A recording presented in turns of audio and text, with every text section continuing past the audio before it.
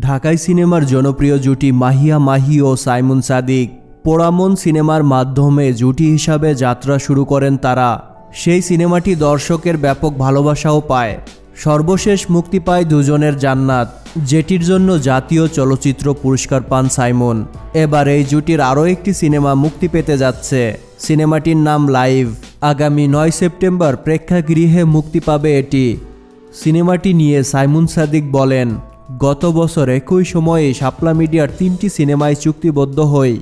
তার মধ্যে একটি ছিল এটি। এতে টানা ষোলো মিনিট অভিনয় করেছিলাম, যা ছবিতে রাখা হয়েছে। কতটা মনোযোগ দিয়ে কাজ করলে আমার মতো একজন অভিনেতা এটা একবারেই করতে পারে। পুরো গল্পটাই ছিল মনোযোগ দেওয়ার মতো।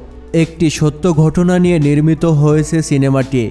টিজারে রহস্যের যে ছায়া পাওয়া গেছে। একবার দেখতে বসলে পুরো গল্পটাই দর্শক শেষ পর্যন্ত দেখবে বলে আমার বিশ্বাস।